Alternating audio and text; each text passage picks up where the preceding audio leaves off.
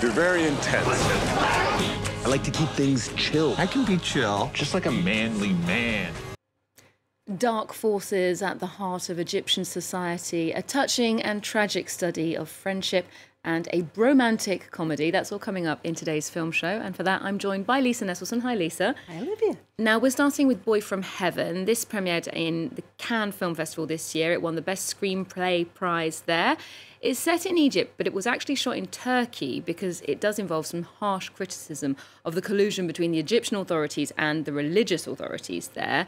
This is a thriller, so the stakes are constantly shifting. What did you make of it? Oh, I got swept up in this story of Adam, a fisherman's son in a small rural community who finds himself with a scholarship to go to Cairo to attend Al Azhar, the ultra prestigious religious academy that trains bright young men for key positions. It's the epicenter of Sunni power.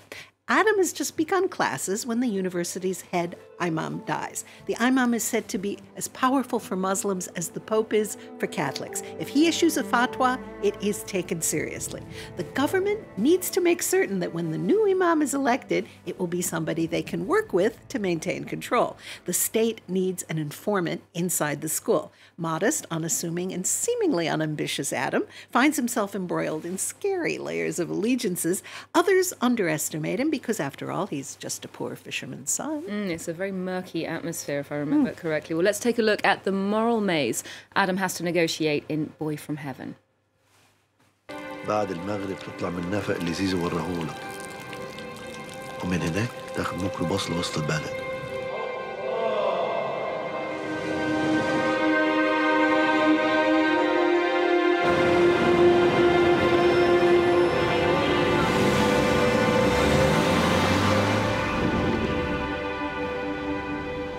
وبعدين تنزل المهندسين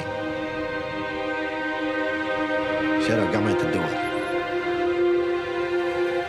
في كافيه هناك معروف قوي Now, El Azhar was built in the 10th century and is the most important place to study Islam in the world. Began as a Shiite establishment, but in the 12th century it became a Sunni stronghold.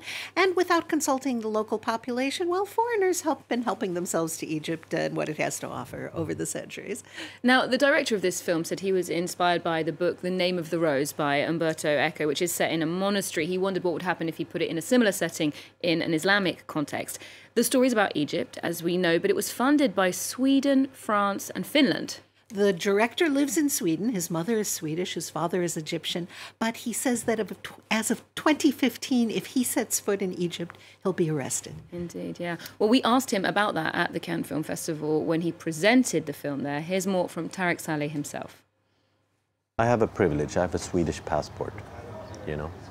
And I think it's my duty to be a free artist. I don't look at myself as a Swedish director. I don't look at myself as a, uh, an American director or an Egyptian director. I see myself as a Korean director or a Mexican director, you know, and I look up at these guys and I say, they tell the stories without holding back.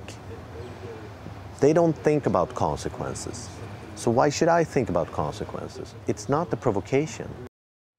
And actor Fares Fares, the guy with the amazingly geometric nose, who here works for the Egyptian Secret Service, has lived in Sweden since he was 14 and his family fled Lebanon. So take that, people who believe that immigration is an awful thing that somehow dilutes the national population and talent pool. This film is full of interesting twists, many of which involve hypocrisy at the highest level. Mm, I found it immensely enjoyable. Well, now to a film that shows some of the harrowing consequences of feeling forced to conform. It's called Close, and it it won the Grand Prix in Cannes. It was chosen to represent Belgium for the Oscars. It won two major prizes just a few days ago at the Chicago International Film Festival.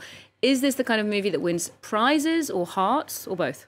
Both. I'd say both. Most people find Lukas Dhont's second feature deeply moving. It's about two boys enjoying their incredibly strong friendship, riding bicycles, running through fields. If there's such a thing as purity and innocence, they embody it. Close is about the living, breathing beauty of connecting with another human, especially when you're young and you're still building your personal catalog of experiences and coping mechanisms. Leo and Remy are 13 year old boys and they relish doing boy stuff together. Indeed. Well, let's take a look at the atmosphere in close.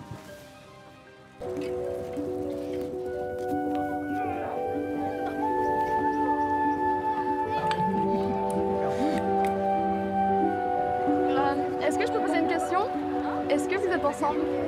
Mais pourquoi tu dis ça? Parce que ça me tente trop. Enfin, je sais pas. Bah, on s'est rapprochés parce qu'on est meilleurs. Sûr et certain.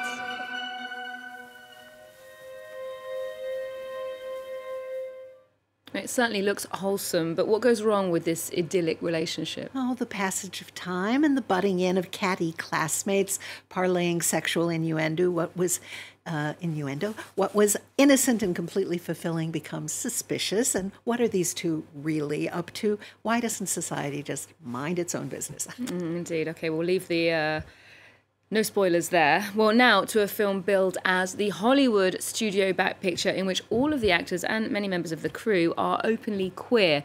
Bros is set in New York and it deals with the challenges of being a gay man in your 40s. It got a great reception at the Toronto Film Festival a couple of months ago. There were rumours about possible Oscar attention. Then it came out in American theatres. What happened next? Uh, basically, hardly anybody showed up to buy a ticket. It was labeled a spectacular flop, and Twitter musings about homophobia proliferated. Some people think there's no need for a film about gay men because, at least in Western countries, queer people are now integrated into society. In the same year the movies were invented, 1895, Oscar Wilde, one of the most famous and accomplished writers on earth, was sent to prison for alleged homosexual acts. It demolished his health. He died young, our lost. So, mm-hmm. Universal Studios making and promoting an all queer romantic comedy is a sort of milestone. But I don't care about that. All I know is that when I went to a sold out show in Central Paris the day it was released, I laughed a lot, as did a self selecting audience of mostly gay French men. The humor is very American, and I think the structure functions just fine. Two professional men flamboyantly intellectual arts administrator Bobby, and Aaron, an impossibly handsome hunk who works in estate planning, each catch each other's eyes. Both are up for casual sex, but skittish about emotional commitment. Okay, well, t- let's take a look. This is Bros. What are you into? One of these ripped idiots with no opinions? No, I'd like someone who's physically very frail and won't stop talking. And I bet he's as intimidated by you as you are by him. I'm down for whatever. Yeah, I can do whenever and I can do whatever. Cool, whatever, whenever. GIF of Michael Scott dancing. Office GIF? This person isn't gay. I need you to be honest with me. You like these rowy, meathead idiots. Oh, they're fighting. You like that? Hey. I can be tough like your you boys. to do? oh, that's what you like, huh? Oh, Hey, what's going on? Oh, That's cool. Bye bye. Now, if you believe in the male gaze, this is absolutely the male gaze applied to males.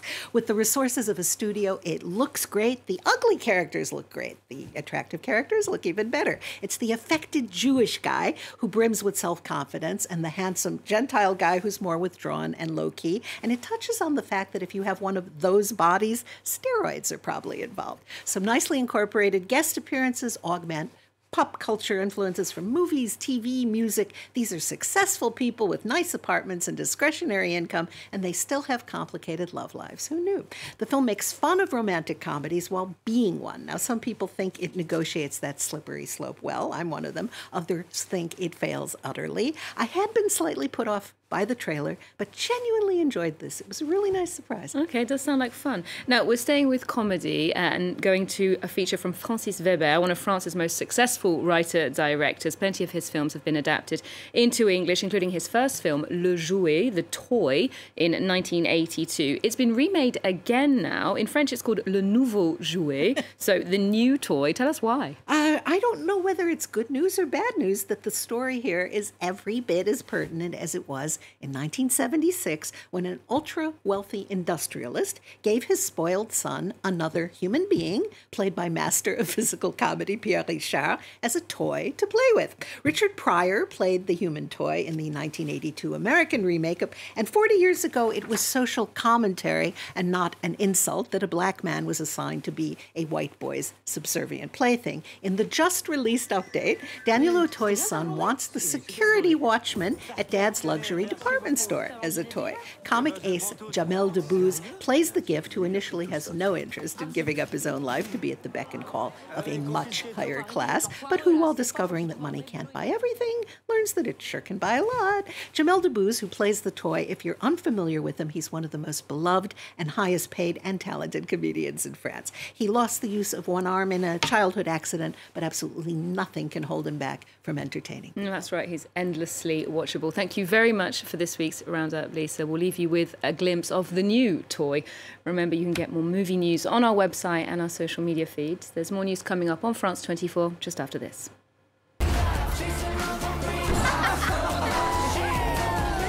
Dans la vie, quand on aime bien les gens, on l'exprime. Vous vous approchez de la personne, bien la famille, tranquille, le père les... les-